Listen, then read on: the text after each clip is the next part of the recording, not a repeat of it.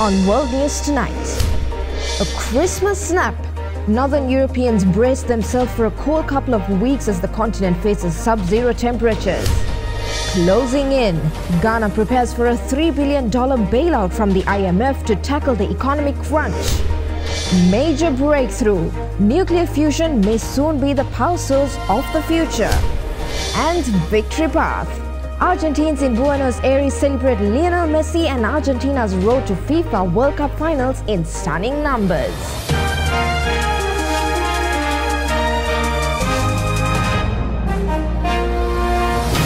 This is Ada Derana World News Tonight. Reporting from Colombo, here is Suzanne Shanali. Good evening and thank you for joining us on World News tonight. Now, much of Western and Central Europe, including the United Kingdom, will stay consistently around 5 degrees Celsius below typical values for this time of year, with many places struggling to rise above freezing even during the daytime. Change is on the horizon, however, as low pressure systems begin to encroach into Europe towards the weekend. Snow blankets parts of Europe just in time for Christmas, but with it comes traffic chaos. Cities like Lyon in France were brought to a standstill on Tuesday morning. Meteorologists say the extreme conditions have set in for the rest of the week. With freezing fog in the northeast, rain in the southwest, and snow and slippery conditions in the southeast. It's a similar outlook for the rest of Europe too, with temperatures set to reach as low as minus 23 degrees Celsius in Scandinavia. In London, harsh weather fell on the same day as the national rail strike, already expected to bring the country to a grinding halt. Only 20% of Britain's railway services have been in operation, but it's Northern Europe that is suffering the full brunt of the snowstorms. Air and rail traffic has been severely disrupted in Finland. Power companies have not ruled out outages due to the extent of the snowfall. Responding to pleas from President Volodymyr Zelensky to help the country withstand Russia's onslaught against its energy grid, Ukraine's Western allies pledged an additional 1 billion euros in emergency winter aid. Some 70 countries and institutions have pledged over 1.05 billion US dollars in immediate aid to help Ukraine get through a harsh winter. Russian forces have battered the country's energy grid and other critical civilian infrastructure, leaving many without essentials ahead of Ukraine's typically frigid season. France hosted a global meeting to discuss what could be offered to maintain water, food, energy, health, and transport. His foreign minister, Catherine Colonna. I'm talking about efforts worth 125 million euros in total from today until late March, the end of winter, which is our contribution in this conference to urgently help the Ukrainian population to survive. By the way, with regard to our country, this is the most significant humanitarian effort that has ever been mobilized by France in such a short period in a very limited time frame. Ukrainian Prime Minister Denis Shmyhal told reporters in Paris that Ukraine was grateful for that aid. I had the opportunity to meet with representatives from donor organizations. And for us in Ukraine, this is a very powerful signal to show that the whole of the civilized world is supporting Ukraine. And we're very grateful to all the countries. The conference was also an opportunity for French President Emmanuel Macron to display solidarity with Ukraine. He's been criticised by some European allies and Kiev itself over the level of French military support. And his comments about needing to maintain dialogue with Russian President Vladimir Putin. These airstrikes openly targeting the Ukrainian population and civilian infrastructure, these strikes whose Russia admitted only purpose was to undermine the Ukrainian people's resistance, amount to war crimes. They violate, without any doubt possible, the most fundamental principles of humanitarian law. These acts are unacceptable and will not remain unpunished. I want to be clear in this context, it is up to Ukraine, the victim of the aggression, to decide on the conditions of a fair and sustainable peace. The meeting also established a mechanism for Ukraine to submit its urgent needs. Donor countries can then respond promptly. A second meeting between France, Ukraine, and some 500 French companies will look into what can be invested to assist Kiev in the short to longer term. Poor harvests, disrupted supply lines, and extra costs all added to a higher global prices for food retailers and consumers in 2022. The next 12 months look unlikely to buck that trend. Food inflation is set to spill over into 2023. Drought, too much rain, war, and energy costs look set to curb global farm production again next year. Rice and wheat stores likely won't be replenished in the first half of 2023. Edible oil supplies are down because of adverse weather in Latin America and Southeast Asia. Food prices climbed to record peaks in 2022. Import costs rose to hover around a $2 trillion record high. That hit millions of people worldwide, especially those already struggling with hunger and poverty. Wheat jumped to an all time high in March after Russia's invasion of key grain exporter Ukraine. The same was true of palm oil, while corn and soybeans climbed to a decade high. Most have since dropped back partially or fully. Flooding in Australia and severe drought in Argentina will shrink key wheat harvests and availability in coming months and a lack of rainfall in the U.S. plains could dent supplies for the second half of the year. Rice prices are expected to remain high because of duties imposed by main exporter India. The outlook for corn and soybean harvests in South America looks largely bright in early 2023. U.S. domestic supplies of key crops are expected to remain snug, according to the Department of Agriculture.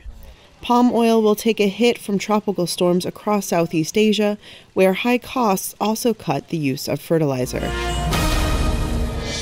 Now, India has accused China of trying to unilaterally change the status quo on their dispute at Himalayan border after clashes in the Tawang sector of India's northeastern state of Arunachal Pradesh.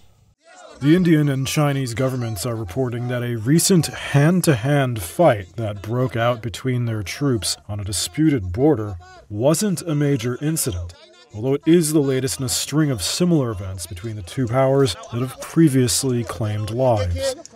These are protests in India over the violence, burning a Chinese flag, the incident occurred on December 9th and was reported by India's ANI news agency Monday, citing sources. On Tuesday, China's foreign ministry called the border situation generally stable, and India's defense minister went before parliament to say none of the troops on either side were seriously injured. But India's Home Minister called the Chinese troops invaders and said so long as Prime Minister Modi's government is in power, no one will capture an inch of Indian land. The December 9th fighting took place in an area called Tawang, which is claimed by both sides. The last known clash happened two years ago when a similar border incident saw 20 Indian soldiers and four Chinese troops killed. Skirmishes keep happening, although they aren't major. It has coincided with a decrease in relations between the countries, however. India's government has said their relationship can't go back to normal without peace on their border. The International Monetary Fund has agreed to a $3 billion loan to Ghana to get the West African nation's debt under control, restore financial stability, and help people most at risk from rising prices and other economic problems. Ghana is facing more than 40% inflation, growing debt, and a sharp decline in its cedi currency since the start of the year. Ghana expects International Monetary Fund board approval of a $3 billion three year loan early next year, its finance minister said on Tuesday. Ken Ofori-Atta was speaking after the West African country reached a staff level agreement with the fund. Ghana is battling its worst economic crisis in a generation. Inflation has soared this year to a 21 year peak, while the cedi currency has lost more than 50% of its value. That's pushed up the cost of Ghana's external debt. In July, Ghana asked the IMF for help after economic hardship prompted widespread street protests. Speaking on Tuesday, the IMF's mission chief for Ghana, Stéphane Roudet, said the fund's executive board will only approve the loan package if Ghana undergoes a comprehensive debt restructuring. Ghana's public debt was $37.4 billion in September, of which 42% was domestic debt, according to the most recent central bank figures. Ofori-Atta said the government was ready to complete actions required of it by the end of January. Let's go into a short commercial break. We'll be back soon with more world news.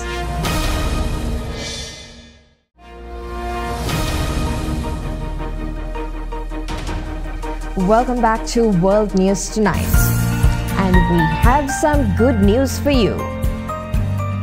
In an update on the successful fusion energy efforts, the United States has announced that scientists have made a breakthrough in what officials called a milestone that has the potential to one day become a boundless source of clean energy. U.S. officials said that scientists at the Lawrence Livermore National Laboratory in California had produced more energy in a fusion reaction, the process that powers the sun and the stars for the first time. This is one of the most impressive scientific feats of the 21st century. In a breakthrough that raises hopes for a clean, carbon free future, U.S. Department of Energy Secretary Jennifer Granholm announced on Tuesday that scientists at the Lawrence Livermore National Lab in California achieved nuclear fusion ignition for the first time ever. And that is creating more energy from fusion reactions than the energy used to start the process. The scientists focused lasers on a target of fuel to fuse two light atoms into a denser one to release the energy. Marv Adams, Deputy Administrator for Defense Programs at the National Nuclear Security Administration, explains. 192 laser beams entered from the two ends of the cylinder and struck the inner wall, and that happened in less time than it takes light to move 10 feet. But last week, for the first time, they designed this experiment so that the fusion fuel stayed hot enough, dense enough, and round enough for long enough that it ignited, and it produced more energies than the lasers had deposited. The director of the White House Office of Sciences and Technology Policy, Arati Prabhakar, said the breakthrough took generations to achieve. It's a century since we figured out that it was fusion that was going on in, in, in our sun and all the other stars. And in that century, it took, it took so many different kinds of advances that ultimately came together to the point that we could replicate that fusion activity in this, in this controllable way in a laboratory.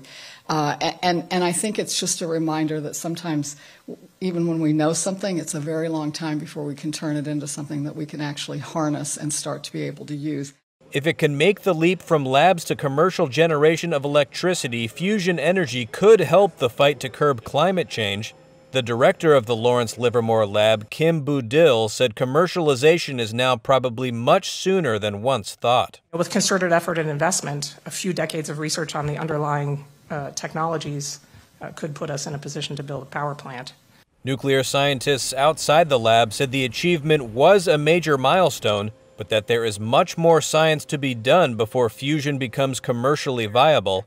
The electricity industry cautiously welcomed the step, but said efforts to develop fusion should not slow down progress on other alternative energy sources, like solar and wind power, battery storage, and nuclear fission. Cryptocurrency tycoon Sam Bankman-Fried faces massive fraud accusation as U.S. prosecutors press criminal charges, which could see the former billionaire imprisoned for the rest of his life. Federal prosecutors in New York charged the founder of the crypto platform with wire fraud, conspiracy to commit fraud, money laundering, and violating campaign finance laws, amongst other charges. Federal prosecutors on Tuesday charged Sam Bankman Fried, the 30 year old founder of defunct cryptocurrency exchange FTX, with perpetrating what they called, quote, one of the biggest financial frauds in American history. Bankman Fried and his co conspirators stole billions of dollars from FTX customers.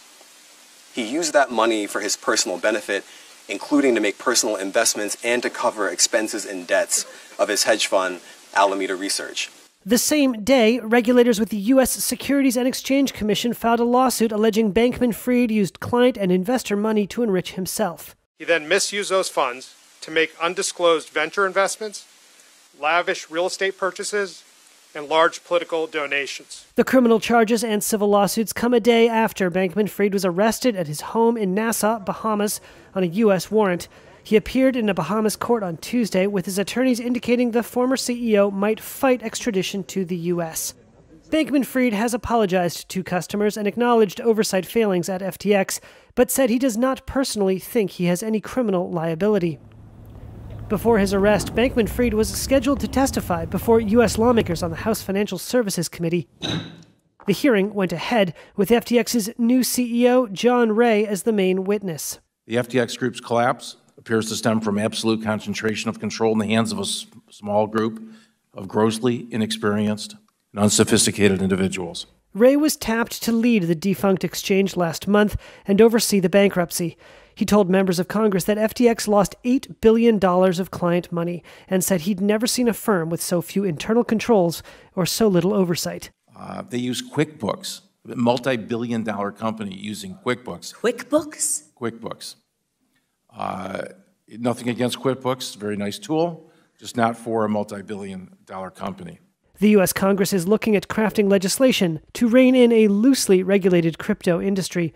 FTX filed for bankruptcy on November 11th, leaving an estimated 1 million customers and other investors facing losses in the billions of dollars. The collapse reverberated across the crypto world and sent Bitcoin and other digital assets plummeting. Peru's armed forces will take control of the protection of key infrastructure, its defense minister said, as protesters that have led to at least six deaths continue across the country following the ousting of its former president. Peru's new president, Dina Boluarte, had earlier in the day pledged to work with Congress to see if the next election could be held sooner than previously proposed and pleaded for calm. Growing unrest in Peru after violent protests erupted over the weekend. A human rights group in Peru reporting at least six people have died in clashes just days after the ouster of former President Pedro Castillo, last week impeached and arrested for rebellion and conspiracy while separately facing corruption charges.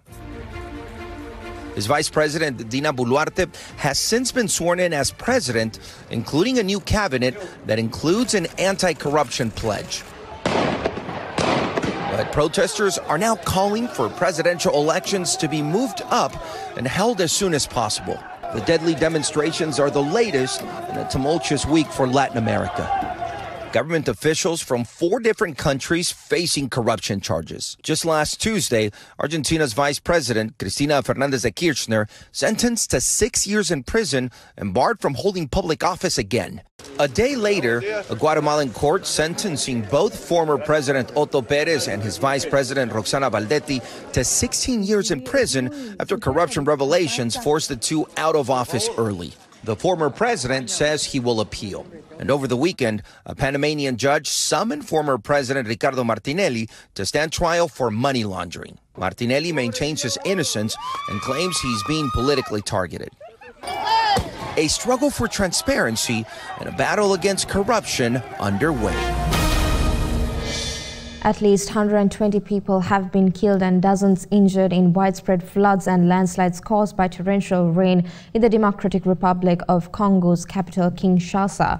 Entire neighborhoods were flooded with muddy waters and houses and roads ripped apart by sinkholes and landslides, including the, the N1 highway that connects Kinshasa to the country's main seaport of Matadi. A community in mourning after nine members of the same family died when their house collapsed. Monday night, heavy rains hit the Congolese capital of Kinshasa and its surroundings, killing dozens of people. We woke up around 4:15 in the morning when the water entered the house. At some point, there was no more danger, so we went back to bed and shortly afterwards, the ground collapsed on the children and the parents, as well as on a neighbor who was passing by. The disaster took place on National Road 1 that connects Kinshasa to the river port of Matadi, a generally busy highway which is essential to the supply of the city and its surroundings. We are on the National Road 1 of Matadi. Everyone passes through here, the traders. Now we will suffer. We will not be able to send goods or fuel to Kinshasa. Officials said they were working to reopen the road. Kinshasa and its surroundings suffer from poor urban planning, which can exacerbate the impacts of extreme weather. In 2019, around 40 people died following heavy rains and landslides.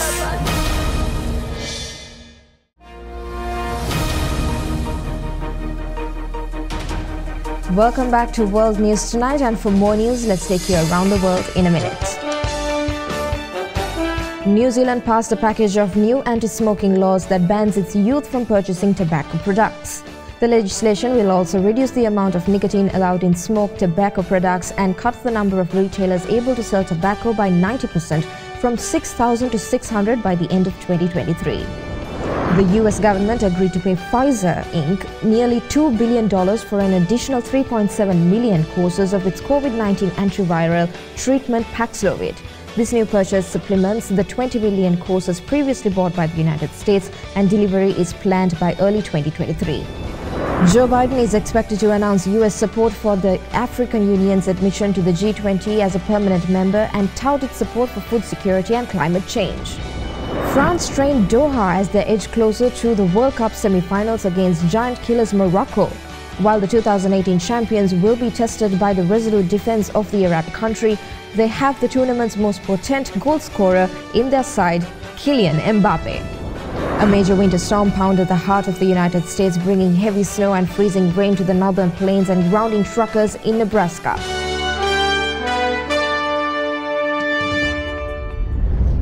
And that is all from us at World News Tonight. Join us again tomorrow for more news around the globe. And in case you missed to watch any of the stories we aired tonight, you can always rewatch by catching us on our YouTube channel, youtube.com slash English.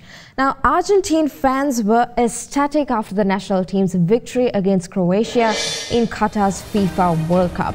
Thousands gathered in Buenos Aires obelisk post-match to celebrate wearing Argentina's jersey, sang songs and cheered. Argentina beat Croatia 3-0 on Tuesday in the World Cup semi-finals, with Messi moving closer to his last World Cup game. Again, thank you for watching. Stay safe and have a good night.